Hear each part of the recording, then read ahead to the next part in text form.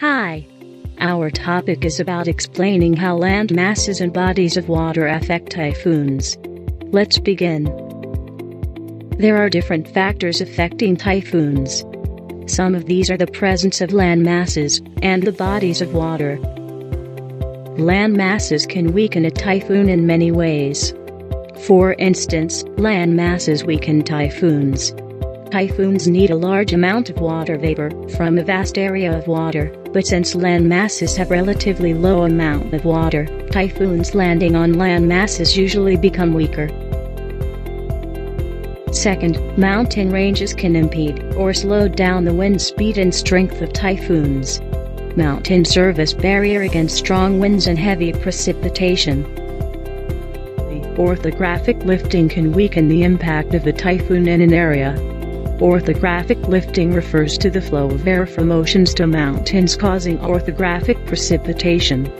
This causes areas at the seaside to become wetter, and those in the lee side to become drier and less prone to typhoons.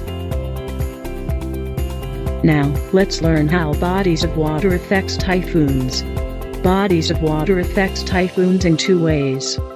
First, it provides the water necessary for evaporation to produce warm, moist air that fuels a typhoon. This abundant amount of water is absent in land masses. This is also the reason why all typhoons originate from large bodies of water. Second, these bodies of water determine the humidity and temperature which are important in the formation of typhoons. High relative humidity and high temperature is necessary in the formation of typhoons. In summary, land masses usually weaken typhoons by limiting the amount of water vapor and by impeding the strength of its winds, while bodies of water strengthens them as they provide water vapor, humidity, and warm air. This is the end of the presentation. Thank you.